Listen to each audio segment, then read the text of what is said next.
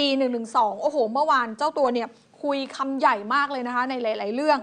แล้วก็บอกว่าในส่วนของการสู้คดี1นึเนี่ยไม่ได้กังวลนะคะ บอกว่าจัดการได้สบายมาก ยืนยันว่าไม่เคยไปแตะเรื่องเจ้านายนะคะ แล้วก็แสดงความมั่นใจอีกต่างหากว่าการเลือกตั้งครั้งหน้า เพื่อไทยนั้นจะชนะพักประชาชนได้อย่างไม่ยากค่ะ นายทักษิณชินวัตรอดีตนายกรัฐมนตรีนะคะ กล่าวแสดงวิสัยทัศน์ในงาน Dinner Talk Vision for Thailand 2024 ที่พารากอนนะคะ ก็ได้มีการกล่าวช่วงหนึ่งถึงเหตุที่ทำให้ถูกกล่าวหาในคดี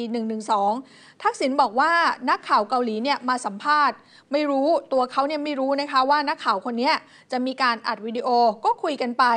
ยืนยันว่าตนเนี่ยนะคะไม่เคยแตะเรื่องเจ้านาย เพราะคำว่า circle หรือว่าที่แปลว่าวงรอบเนี่ยจนคิดว่าตำรวจเนี่ยน่าจะตกภาษาอังกฤษ แต่คำว่า center ก็คือตรงใจกลางตนไม่ได้พูดถึง center แต่พูดถึง circle ซึ่งส่วนนั้นเนี่ยเป็นช่วงของการกระชับอำนาจปฏิวัติพอดี ตนได้ข่าวมาว่า คนที่ทำคดีเนี่ยแทบจะเป็นบ้าเลยนะ เพราะว่าถูกกดดัน และตนก็รู้ว่าใครกดดัน และคนกดดันก็ยังอยู่ เดี๋ยวตนนะ จะไปซักในศาลเอง รวมทั้งมั่นใจว่าเรื่องนี้จะจัดการได้สบายมากนะทักษิณบอกด้วยว่า ต้นอยากจะขออย่างหนึ่งก็คือ ขอให้คนไทยรักกัน เราคือคนไทยด้วยกัน ต้นเนี่ยโดนเยอะที่สุด เห็นนรกแล้วก็สวรรค์อยู่ในชาติเดียวกันมาแล้ว แต่ทุกวันนี้ทำไมทุกคนถึงบอกว่าตนเจอคนนั้นนะคบคนนี้ได้ ต้นถือว่าอดีตมันก็คืออดีต ไม่ใช่ความจำเสื่อม เราเนี่ยจำได้หมด แต่อยากอยู่กับปัจจุบันแล้วก็อนาคต อย่าไปมองว่าคนนี้คนนั้นไม่ใช่พวกเรา เพราะพวกเราเป็นคนไทยด้วยกัน เน้นความสามัคคีเพราะสิ่งที่พูดไปทั้งหมดนั้น ถ้าขาดความสามัคคีก็ไม่สามารถที่จะทำได้ ทักษิณบอกนะคะว่า อยากให้เห็นว่านะคะวันที่รัฐบาลใหม่มีพักโน้นพักนี้มาร่วมกันเยอะแยะไปหมดนั้น เป็นสิ่งที่จะช่วยประเทศชาติพัฒนาได้ง่ายมากขึ้น แข็งแรงมากขึ้น แก้กฎหมายที่เป็นอุปสรรคต่อการพัฒนาประเทศ แก้กฎหมายที่ทำให้นะคนเนี่ยต้องลำบาก ต้องแก้วันนี้ถึงเวลาแล้วที่เราต้องรวมน้ำใจเป็นน้ำหนึ่งอันเดียวกัน และแก้ไขปัญหา ถ้าใครบอกว่าตนเนี่ยโกรธคนนั้นเกลียดคนนี้ ตนน่ะรู้สึกมากที่สุดแล้ว ซึ่งตนรักบ้านเมือง อยากเห็นบ้านเมืองดี และพร้อมอยู่ข้างหลัง ช่วยคิดให้ทางภาครัฐ แล้วก็ภาคเอกชน ใครต้องการที่จะปรึกษาตนก็ยอม เสียค่ากาแฟนิดหน่อย แล้วตนก็จะแวะไปดื่มด้วย แล้วก็ช่วงหนึ่งของการตอบคำถามบนเวทีเนี่ยนะคะนายทักษิณก็ได้ตอบคำถามถึงการเลือกตั้งครั้งหน้า โดยแสดงความเชื่อมั่นบอกว่า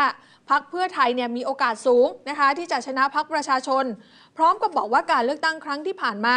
ถ้าแพทองทานหัวหน้าพักเนี่ยไม่ไปลาคลอดเสียก่อน แล้วหาเสียงจนจบก็มั่นใจนะ ว่าเพื่อไทยเนี่ยจะมีโอกาสสูง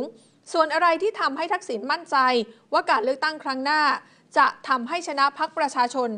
นายทักษิณบอกว่าแหมก็คนเคยชนะมาแล้วถามอะไรก็ไม่รู้ แล้วมองว่าหลักของพรรคประชาชนหรือพรรคก้าวไกลเนี่ยต้องการความเท่าเทียมในบริบททางการเมือง ส่วนของเราเนี่ยอยู่ในบริบทของการปฏิรูปทางเศรษฐกิจ ที่สร้างโอกาสความเท่าเทียมกันทางเศรษฐกิจ เขาเน้นสถานะที่เท่าเทียมกันหมด เราเน้นโอกาส โดยเฉพาะโอกาสทางเศรษฐกิจที่ไทยเนี่ยมีปัญหาตรงนี้ โดยเฉพาะนะคนชนบทที่เขายังลำบาก แล้ววันนี้ไม่ใช่ว่าคนไทยนะคะ ไม่ใช่ว่าเขาบอกว่าคนไทยในงอมืองอตีหรือว่าไม่ฉลาด แต่เพราะว่าโอกาสไม่มีต่างหากล่ะ ส่วนถ้าพักประชาชนนะคะไม่มีเรื่อง1นึเพื่อไทยเนี่ยจะจับมือในการจัดตั้งรัฐบาลได้หรือไม่นายทักษิณมองว่า เราเนี่ยมีพันธมิตรในทางการเมือง เขาก็มีสิทธิที่จะร่วมรัฐบาลก่อน เคยจีบกันมาแล้วทักษิณบอก เคยจีบกันมาแล้วแล้วก็เลิกกันไปแล้วแบบเหมือนคนเป็นแฟนกันเลยนะ เคยจีบกันมาแล้ว เลิกกันไปแล้ว แล้วก็มาแต่งงานกันใหม่ ต้องเอาโอกาสให้คนที่เขายังอยู่ เมื่อถามว่าแล้วคนที่อยู่ด้วยกันเนี่ยมีพักประชาธิปัตย์หรือไม่ นายทักษิณก็เลยบอกว่า ประชาธิปัตย์ก็มาร่วมในงานเห็นไหมนั่นไงนะส่วนสัญญาแนวคิดที่จะดึงเข้ามาร่วมกันนั้นนายทักษิณบอกว่า วันนี้ต้องสามัคคีกัน เราแบ่งหน้าที่กันไม่ได้เป็นศัตรูกัน ใครมีหน้าที่อะไรก็ทำตามนั้น จะเป็นศัตรูทำไมคนไทยด้วยกันเมื่อถามว่าตั้งแต่กลับมาประเทศไทยหนึ่งปีเนี่ยนะคะได้พูดคุยกับทางด้านของบิ๊กป้อมหมูหน้าพักพลังประชารัฐหรือไม่ ทักษิณบอกว่า ก่อนที่จะเดินทางกลับมาเนี่ยนะคะ ก็ได้มีการพูดคุยผ่านคนอื่น ส่งสายให้คุยกันสั้นๆ ตอนนั้นน่ะคุยกันก็น่าจะเป็นเรื่องการร่วมรัฐบาลนี่แหละ แล้วก็ไถ่ถามสารทุกสุขดิบ และหลังจากนั้นก็ยืนยันว่าไม่ได้คุยไม่ได้เจอ เพราะว่าเขาไม่รู้จักผมแล้วส่วนเหตุผลที่ทำให้ห่างกัน ทั้งที่เคยสนิทสนมตั้งแต่เป็นสมัยเป็นแม่ทัพภาคที่ 1 แล้วก็ผู้บัญชาการผู้บัญชาการทหารบกนั้น ทักษิณบอกว่า